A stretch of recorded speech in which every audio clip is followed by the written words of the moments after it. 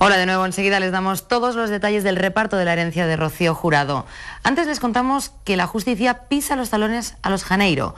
Humberto, el patriarca del clan, está en el punto de mira por sus tratos con el cerebro de la trama del fraude de las pensiones. Carlos Carretero.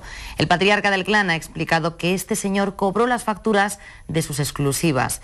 Su hijo Víctor le aplaude por su actuación televisiva y mientras Jesulín calla, bastante tiene con la implicación de su mujer en la operación Carlos. Julián Muñoz no solo quiere Isabel Pantoja, es además su mejor fan. Así no duda en bailar y tararear las canciones de su novia en sus conciertos.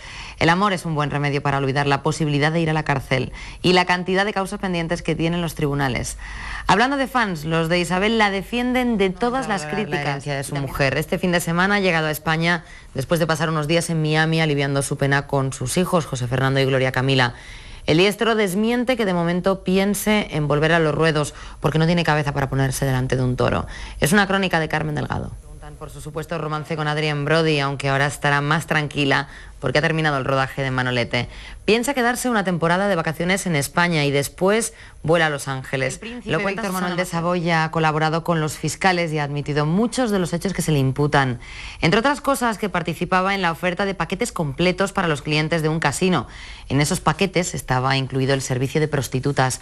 Además, otro de los acusados cuenta que el príncipe también frecuentaba prostitutas.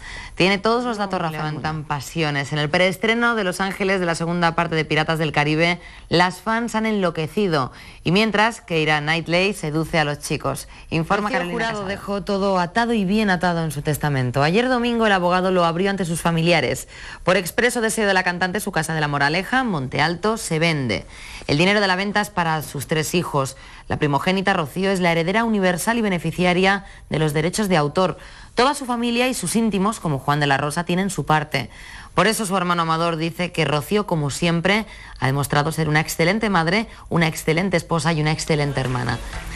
En julio de 1946, una mujer se atrevió a ponerse un bikini. Esta mini prenda para el baño cumple ahora 60 años y para celebrarlo una conocida firma de moda ha hecho un viaje en el tiempo con la ayuda de la modelo Ariadne Artiles, la mujer de Fonsi Nieto. Con la crónica de Rafael Muñoz nos despedimos. Hasta mañana. Gracias por...